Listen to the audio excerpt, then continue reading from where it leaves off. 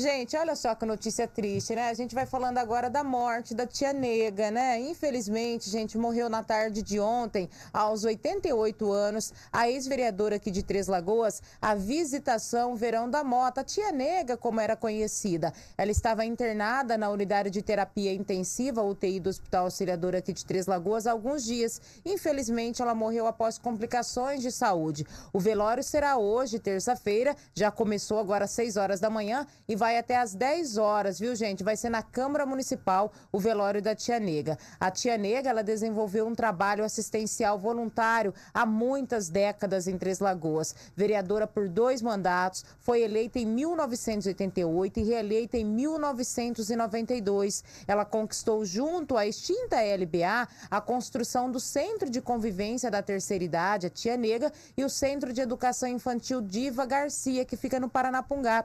Ainda como vereadora, vereadora, ela recebeu o diploma de honra ao mérito Antônio Trajano dos Santos em 1992 e o pirotesco título de tombamento como patrimônio histórico, moral e ético da política treslagoense, ato publicado em Diário Oficial em 1955. A tia Nega começou na vida pública como coordenadora de assistência social de Três Lagoas no programa Panelão de fornecimento de cestas básicas a famílias carentes, isso na década de 80. Foi criadora do programa de hortas comunitárias em Três Lagoas. Também foi a pioneira na implantação de clubes de mãe destinados aí ao atendimento social das famílias carentes, com atividades artesanais e de cuidados com os filhos. Foi ainda a fundadora do estádio da Associação Desportiva da Noroeste do Brasil, o estádio da AD, da ADEM, né? Junto com os ferroviários e com o seu marido, Benedito Soares da Mota, que também foi ex-vereador por três mandatos.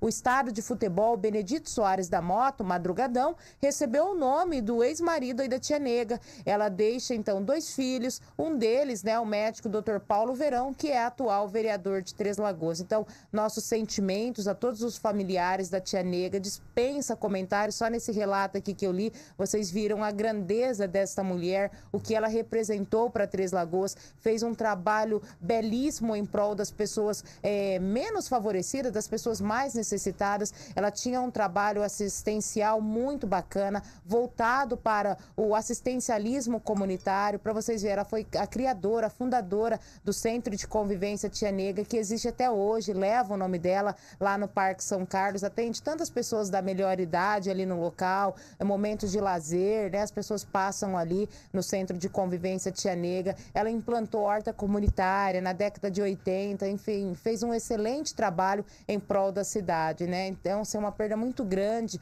para a cidade. A Tia Nega era uma pessoa muito querida, muito doce, muito amável e a gente deixa aqui nosso respeito, todo o nosso sentimento, nosso carinho por os familiares da Tia Nega, viu? Com certeza ela cumpriu a sua missão e bem cumprida aqui na Terra.